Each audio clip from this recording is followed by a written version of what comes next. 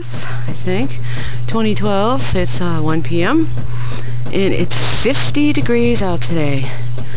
Earlier in the week the forecast had said uh, yesterday was going to be warm and the temperatures were going to drop but they were wrong. It's it's 50 inside my house is 67 so it feels like a spring day. It smells like a spring day.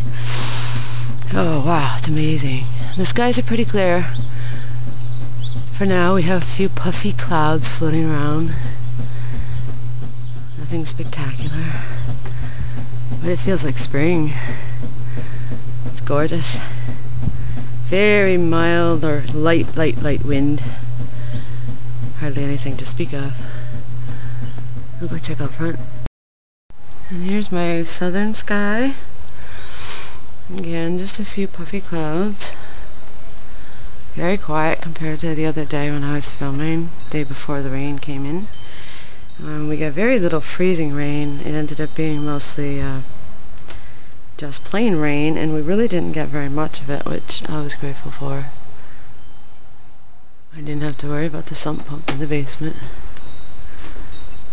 And out here in the sun, uh, I don't even think I can check the thermometer. I'll check the thermometer. Looks like the thermometer in the front here on the porch is reading about 50, uh, sorry, 70. I've been kind of busy running around the house trying to get some things done on a day when I feel pretty good, so.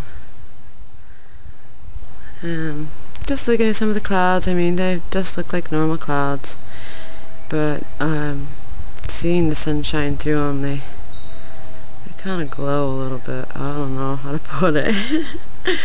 I don't know if that's coming out on video, but I got glowing clouds, and I can see off in the south uh, quite a bit of a thicker cloud bank. And uh, don't really know the forecast, so can't tell you that right now. Besides which, it's wrong half the time. Some more interesting clouds. That's about it for my weather share. Enjoy. Have a wonderful day.